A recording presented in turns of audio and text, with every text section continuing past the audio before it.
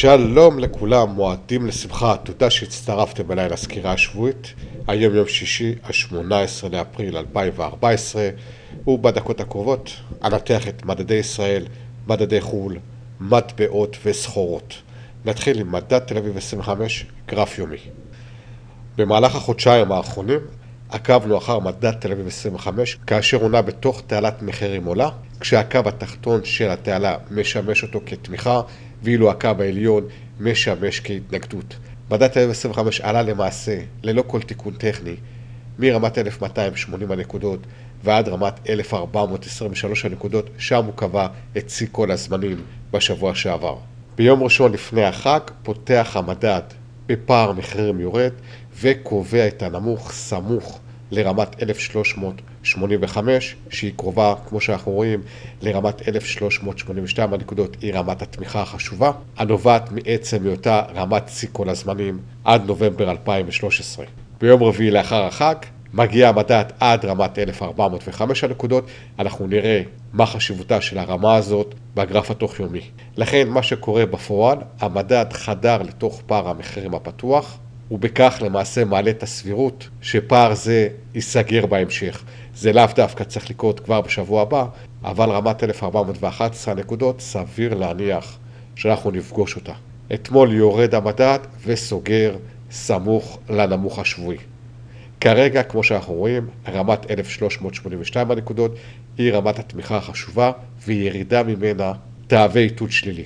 אחד מהסימנים כדי לבדוק האם המדד שלילי הוא כמובן מד זרמת הכסף.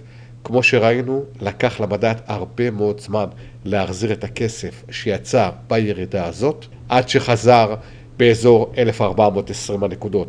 אפשר לראות כשהמדד פרץ את רמת 1382 הנקודות, מד זרמת הכסף עדיין לא הראה פריצה. הפריצה הגיעה רק לאחר מכן.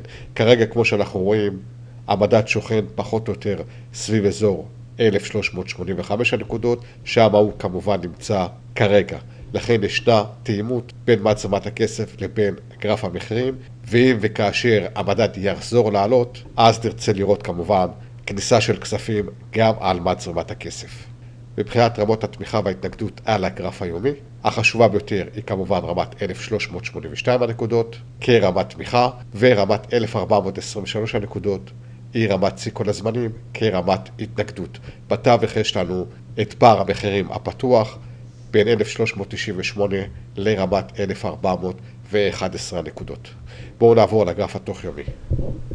על הגרף היומי ראינו כיצד מדד תל אביב 25 מייצר בכל פעם שיא חדש וקובע את הרמה כרמת תמיכה. כך ראינו זאת ברמת 1373 הנקודות שהפכה מהתנגדות לתמיכה, לאחר מכן רמת 1382 שנפרצה, רמת שיא כל הזמנים, לאחר מכן רמת 1405 הנקודות, כאן שימשה כהתנגדות, פריצה ולאחר מכן מספר פעמים שימשה כתמיכה.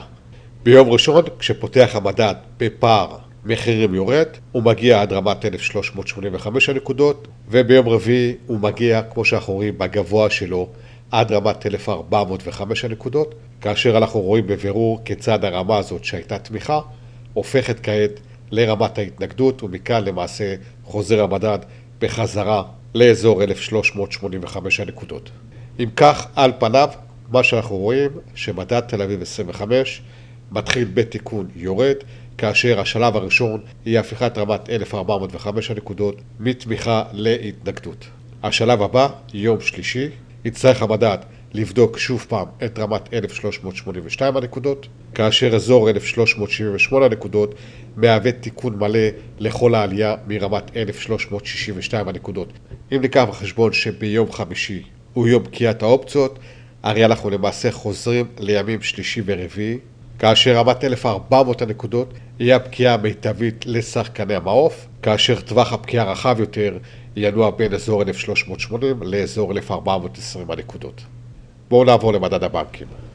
מדד הבנקים החל את המימוש שלו כבר בשבוע שעבר, ראינו זאת בסקירה הקודמת, כאשר הוא מגיע לאזור ההתנגדות רמת 1345 הנקודות, אפשר לראות את מספר הפעמים שהמדד נמצא סמוך לקו הזה ולא מצליח לפרוץ אותו. בד בבד עם השהייה שלו באזור הזה, ראינו את מד זרמת הכסף, כיצד הוא מייצר סטייה שלילית. שימו לב כיצד מד זרמת הכסף מייצר לנו שיאים ושפלים יורדים, בעוד שכאן ראינו טשטוש ושהייה סמוך לרמת ההתנגדות. לאחר מכן הגיעה הירידה, וכרגע, כמו שאנחנו רואים, המדד נמצא באמצע הדרך בין רמת התמיכה, אזור 1272 הנקודות, לרמת ההתנגדות 1345 הנקודות. אפשר לשים לב שיש לנו פה קו מגמה עולה, הקו הזה פחות או יותר נמצא סמוך לרמת התמיכה 1272 הנקודות, הוא זה שיהווה תמיכה, יגיד לנו עד להיכן מגיע התיקון הטכני של מדד הבנקים, ומן הסתם הוא צריך לייצר באזור הזה. אם אנחנו רוצים להבין טוב יותר עד להיכן יגיע התיקון הטכני בכל המדדים, אז בואו נפתח את גרף המדד הכללי, שמהווה כלי מאוד אמין כדי לבחון את השוק עצמו. זהו המדד הכללי, אפשר לראות את מגמת העלייה הברורה שלו, למעשה מאז אוגוסט 2013, כאשר יש לנו קו אחד מנחה, קו המגמה העולה, הקו הזה למעשה מסמן לנו עד להיכן יגיעו התיקונים הטכניים במדד הכללי. כמו שאנחנו רואים, המדד הכללי מתממש במהלך כל החודש הזה, כאשר הוא מתקרב כרגע לקו המגמה העולה. על הגרף אפשר לראות את מתנד ה-CCI, שמאפשר לנו פחות או יותר לזהות רמות שפל ושיא, והן מתרחשות בנקודות הקיצון של מינוס 200 או פלוס 200. ברגע שמתנד ה-CCI מגיע לרמות הקיצון שלו, עולה הסבירות שנראה היפוך כנגד כיוון המגמה. זאת אומרת, אם כרגע, כמו שאנחנו רואים, המגמה במדד הכללי לטווח המיידי היא מגמת ירידה, ומתנד ה-CCI, כמו שאנחנו רואים, הולך ויורד, הוא מגיע כרגע לאזור מינוס 150, הרי כשהוא יגיע פה לקו המגמה העולה, סביר להניח שגם ה-CCI יגיע לאזור ה-200, מה שייתן לנו אינדיקציה לכך שרבים הסיכויים שמהאזור הזה נראה סיבוב פרסה כלפי מעלה. האזור הזה במדד הכללי תואם פחות או יותר את מה שראינו במדד הבנקים, רמת 1272 הנקודות, ובמדד תל אביב 25, אזור 1373 הנקודות. נמשיך לעקוב אחר המדד הזה גם בשבוע הבא. בואו נעבור כעת למדד ה-S&P 500. בשבוע שעבר, בימים חמישי ושישי, יורד מדד ה-S&P 500 בחדות, שובר את רמת 1850 הנקודות ומגיע בסופו של דבר ביום שישי עד רמת 1815 הנקודות. אפשר לראות שבארבעת הימים שלאחר מכן, מדד ה-S&P 500 עולה, הוא מגיע עד אזור 1870 הנקודות. אנחנו נראה עוד מעט למה רמת 1870 הנקודות משמשת כרמת התנגדות. מה שאנחנו רואים כרגע, רמת 1815 הנקודות היא רמת התמיכה הנוכחית, רמת 1884 נקודות היא רמת ההתנגדות הנוכחית. בואו נסתכל על הגרף התוך-יומי. על הגרף התוך-יומי אפשר לראות שרמת 1872 הנקודות, הרמה הזאת, היא רמת ההתנגדות התוך-יומית. המדד הגיע קרוב, סמוך אליה, וסגר לבסוף באזור 1865 הנקודות, רמת 1865 הנקודות, מעבר רמת תיקון מלא לכל הירידה מרמת 1897 נקודות ועד רמת 1815 נקודות. לכן סביר להניח שאם המדד יחצה את רמת 1872 הנקודות כלפי מעלה, אנחנו נראה אותו מהר מאוד מגיע לרמת כל הזמנים שלו. לכך כמובן תהיה השלכה גם על מדדי ישראל, שיחזרו לפעילות ביום שלישי. היום, יום שישי, לא מתקיים מסחר בארצות הברית, ולכן הם יחזרו רק ביום שני הקרוב.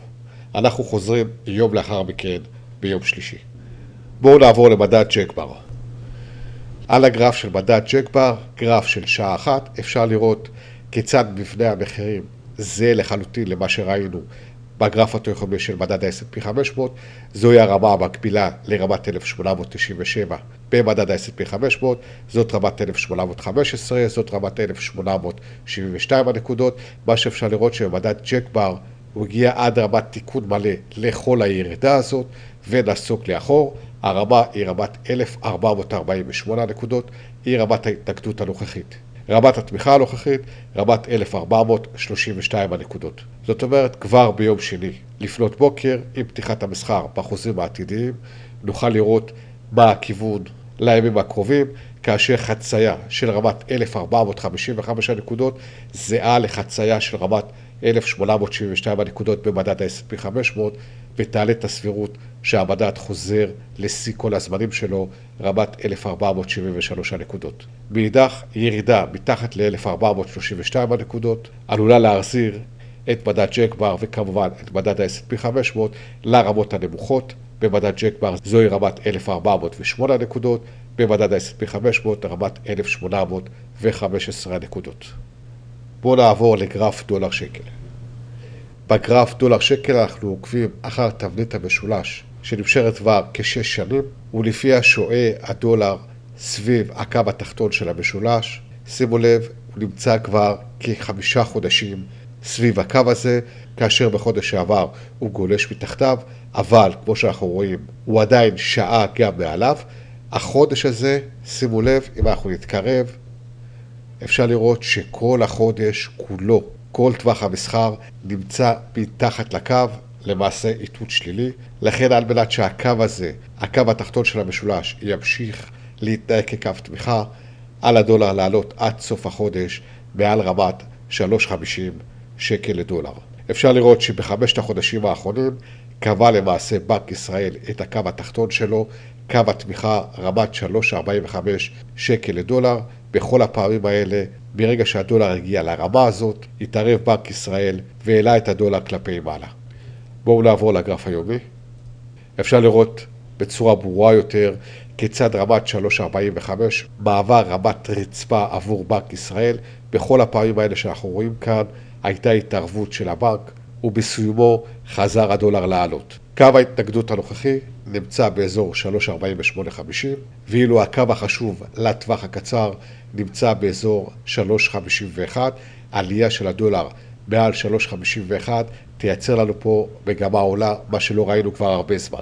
מאידך, שבירה של רמת 3.45 עלולה לדרדר את הדולר גם לאזור של 3.35 שקל לדולר. בואו נעיף מבט על גרף הזהב.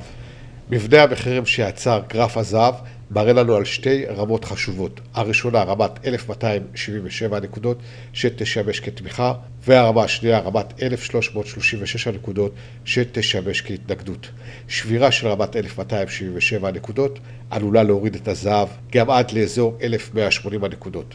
מאידך, עלייה של הזהב מעל אזור 1336 תחזיר אותו בחזרה לאזור 1392. בשני המקרים יש לנו מהלכים שבין 60 ל-80 נקודות. כרגע, כמו שאנחנו רואים, יש לנו פה קו מגמה עולה, כשהזהב נעצר על הקו הזה, לכן האיתות הראשון יתרחש במידה והקו הזה יישבר, מה שיוביל מהר מאוד לבדיקת רמת 1277 נקודות. אם כן, הזהב נמצא כרגע על צומת דרכים, מכאן הוא יכול לחזור בחזרה ולבדוק את רמת 1336 הנקודות, או לשבור אותה ולבדוק את רמת 1277 דולר לאונקיה. עד כאן להיום, אני ג'קי ברוך, תודה רבה שהצטרפתם אליי, אני מאחל לכם חג שמח ושבת שלום.